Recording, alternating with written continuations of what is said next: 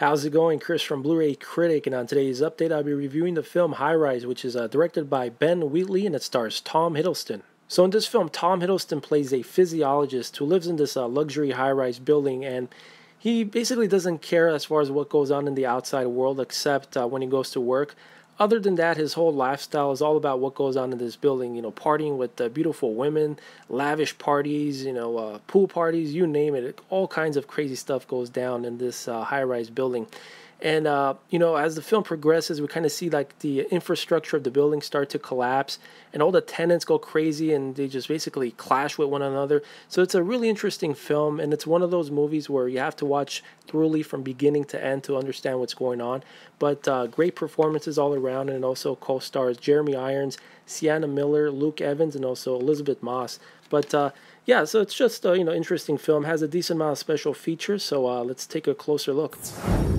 So some of the features included with this release is a audio commentary with Tom Hiddleston as well as director Ben Wheatley and producer Jeremy Thomas, also building the world of high-rise 70s style. And yeah, the film takes place in the 70s and they did a great job bringing that era back to life on screen. So great job on that, definitely. Also, Heidi special effects, which is a cool featurette as far as how they molded this head together and uh, it was actually a pretty creepy scene where they're like peeling off the skin of this head and you get to see the inside of it so uh, great special effects on that. Also uh, breaking down high rise and its tenants. High rise bringing ballard to the big screen and also the theatrical trailer. And this film is presented in the aspect ratio of 2 by 39 and as far as picture and audio quality, I'm going to rate the image a 4 out of a 5, and I'm going to give the audio mix a 4.5 out of a 5. Overall, the image itself has a very soft look. Um, it's not really sharp. Only certain scenes are sharp where it really pops, but other than that, it's just a really soft image.